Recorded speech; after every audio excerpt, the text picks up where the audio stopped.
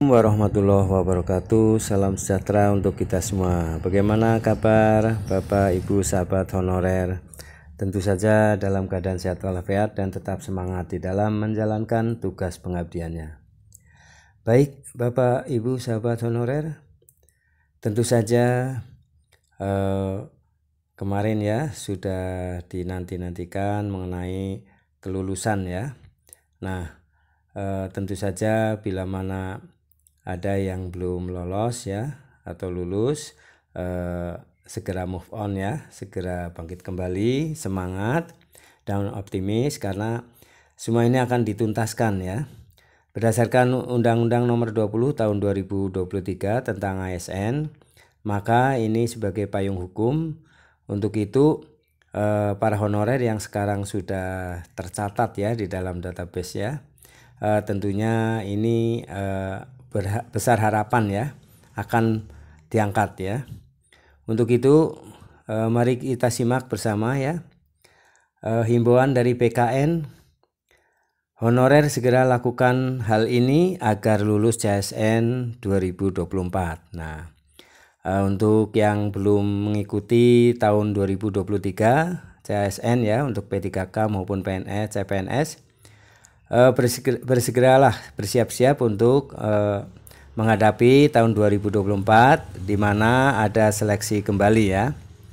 Untuk itu ini sebagai pengalaman dari yang sudah-sudah maka BKN memberikan himbauan ya ataupun e, memberikan rambu-rambu agar para calon P3K maupun CPNS ini akan e, segera lulus ya.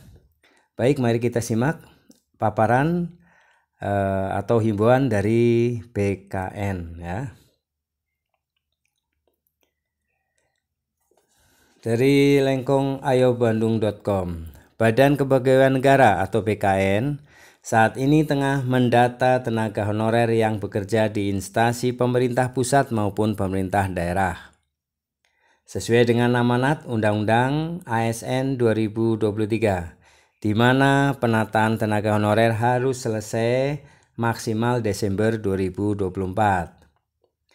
Selain itu, pendataan non-ASN dilakukan secara berkala dengan tujuan mengupgrade data tenaga honorer serta memastikan bahwa tenaga honorer ASN tersebut ya tenaga non ASN atau honorer tersebut berhak atas pengangkatan sebagai P3K. Selanjutnya, database PKN tersebut nantinya dijadikan pedoman pemerintah untuk pengangkatan ASN. Sehingga para tenaga honorer yang telah terdata oleh PKN akan mempunyai peluang lebih besar menjadi ASN P3K. Nah, ini jadi uh, sesuai dengan uh, ketentuan ya himbauan dari PKN bahwa para honorer yang atau non ASN ini yang telah terdata dalam database PKN ini ya segera bersiap-siap ya untuk uh, mengambil peluang yang lebih besar ya untuk menjadi ASN P3K di tahun 2024 nanti ya sebentar lagi nih. Adapun untuk para tenaga honorer yang belum melakukan pendat pendaftaran ya, pendataan non ASN. Di bawah ini diuraikan syarat dan tata cara daftar untuk pendataan non ASN yakni sebagai berikut. Nah, para honorer ya, Bapak Ibu sahabat honorer, silakan daftarkan segera ya datanya ke BKN ya dengan mengikuti eh, syarat-syarat uh, sebagai berikut. Satu, tenaga honorer kategori 2 atau THK 2 yang namanya telah terdaftar dalam database BKN. Jadi ini syaratnya ya eh, bahwa ini THK 2 yang sudah terdaftar dalam database BKN.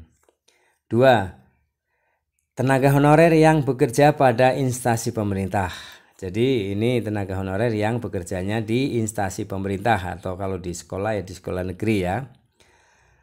Kemudian yang ketiga, pembayaran gaji menggunakan dana dari APBN. Nah, ini syaratnya.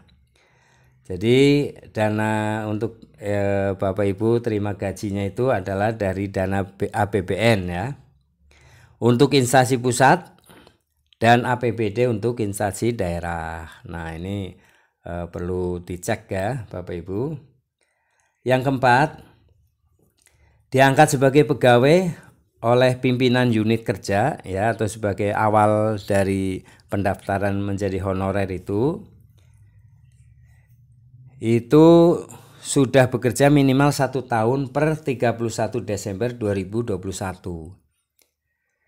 Jadi yang belum satu tahun ya eh, harap bersabar ya karena ini untuk yang minimal pendaftaran waktu diangkat sebagai tenaga honorer itu adalah eh, per satu per Desember 31 Desember 2021 ya jadi satu tahun yang lalu ya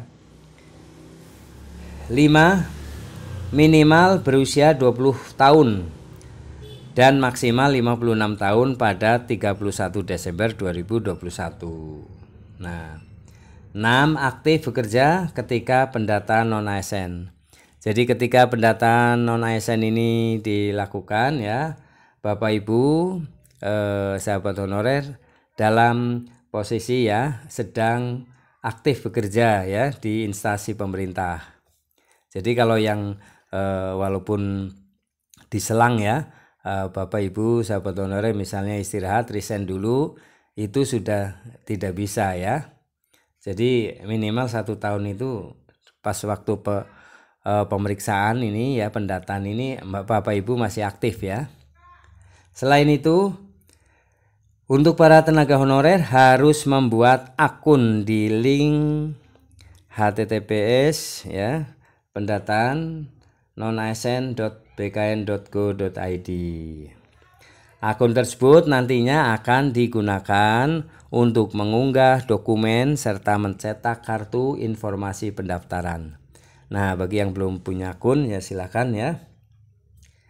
Di bawah ini merupakan alur untuk membuat akun. Nah, ini dijelaskan bagaimana cara membuat akun pendataan non ASN sebagai berikut. Satu, masuk ke link ya daftar pendataan onisn.bkn.go.id atau akun. Dua, isi data diri Anda ya non ASN yang terdiri dari nik, nomor KK, tanggal lahir, email aktif dan nomor handphone yang digunakan. Tiga, periksa kembali ke akuratan data dan dokumen yang diinput Ya. Empat, periksa kelengkapan, kelengkapan berkas dan cetak kartu informasi pendaftaran. Nah, itu ya, itu harus dilakukan. Kemudian setelah melakukan hal tersebut di atas, para honorer harus login pendataan dengan langkah-langkah sebagai berikut. Setelah lo, eh, ini ya, login satu login di link berikut ya daftar pendataan nonasn.bkn.go.id login ya. Dua isi biodata. Tiga jika ada permasalahan dengan data hubungi help desk dengan mengakses ya. Https ya help helpdesk.bkn.go.id atau pendataan non ASN username pada aplikasi adalah nick masing-masing ya. Pakainya adalah nick masing-masing kemudian membaca serta pahami syarat tata cara dan ketentuan perbedaannya. Pendatanya ya. 5 melengkapi data riwayat bukti pembayaran gaji SK jabatan dan lainnya.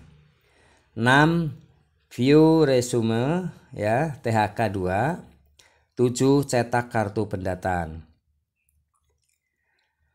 Senada dengan hal tersebut, Junimat juga menghimbau bahwa pendataan non-ASN dan verifikasi PKN merupakan hal yang penting, sehingga honorer harus memastikan nama mereka di pendataan non-ASN.